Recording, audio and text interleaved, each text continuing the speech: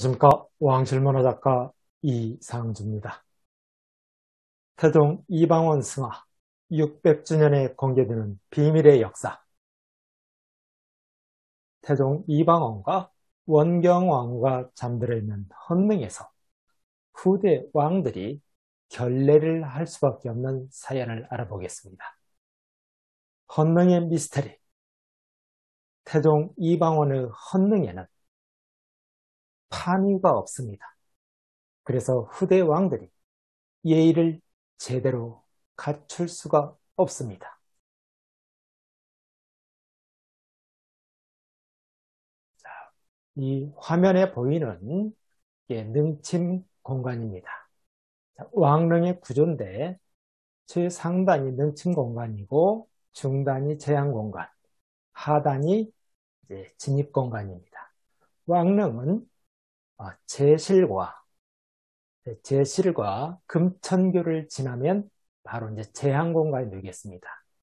홍살문부터는 바로 신의 영역이 됩니다. 근데 홍살문 바로 안쪽에 주로 이제 오른쪽 안쪽에 보면은 판위라고 해서 정방향에 한 평 정도의 돌이 놓여 있습니다. 이 판위 단위를 좀 더 정확히 볼까요?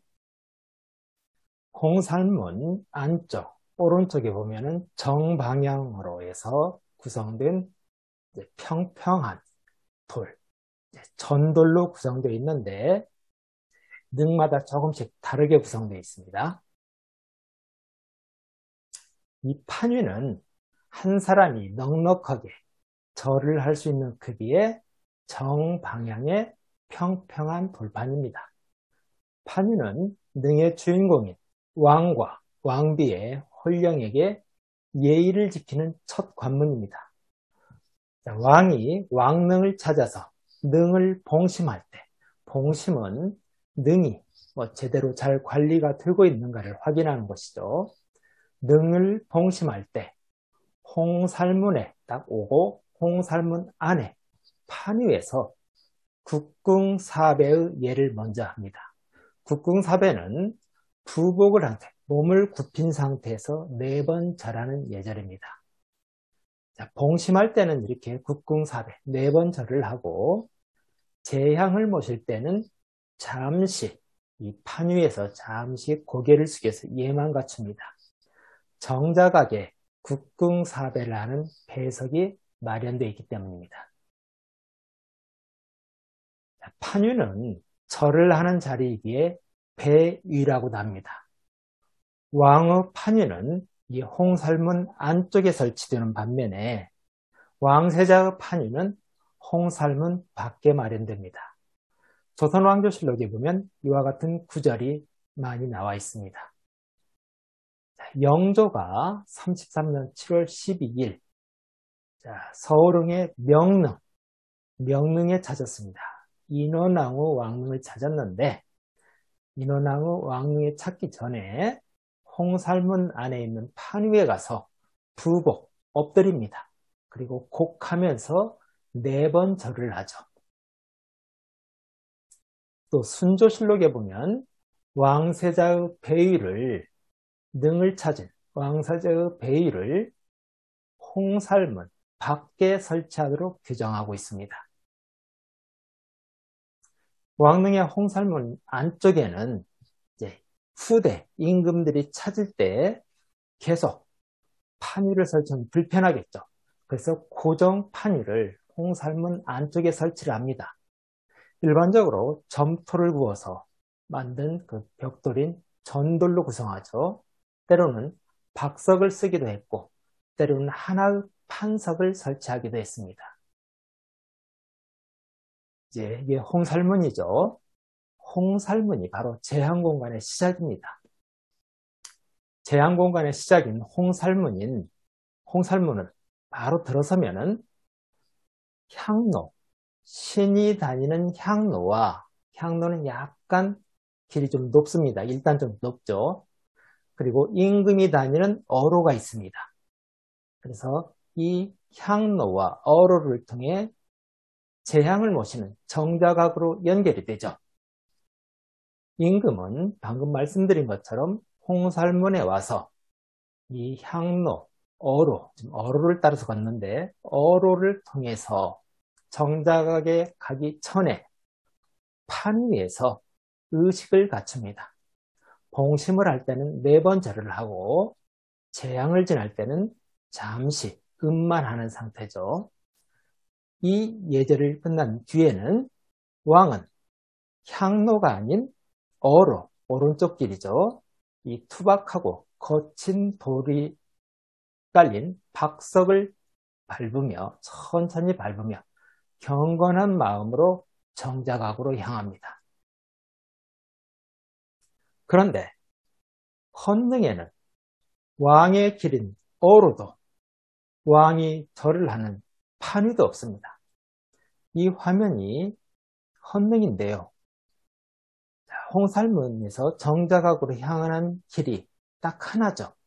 이게 바로 신이 가는 길, 향로입니다. 어로가 없죠. 그래서 헌능에서는 임금은 어로가 없기 때문에 이 잔디로 걸어가야 됩니다. 헌능은 있는 것 같은 경내에 있습니다. 그래서 헌인능으로 불립니다. 헌능에는 판위가 없는 반면에 인능에는 홍살문 안에 판위가 있습니다. 인능은 조선 23대 왕인 순조와 순원왕후의 능입니다. 이것이 바로 인능입니다. 판위가 보이죠? 태종과 원경왕후의 헌능에 없는 판위가 인능에는 있습니다. 왕의 친양내가 아니면 임금을 위한 판위가 필요 없을 수도 있습니다. 왕족이나 신하가 봉심할 때는 임시 판위를 설치하거나 판위 없이 예를 갖출 수도 있습니다. 건능에서 친양내는 고종 20년 1883년 8월 24일이 마지막이었습니다. 이후 헌능 제왕은 왕이 신하를 보내 모시는 법향내로 진행됐습니다. 현대에도 헌능 동양에서 모시는 서향내로 진행이 되고 있습니다. 그렇기에 홍살문 안에 판위가 없어도 큰 불편함은 없었습니다.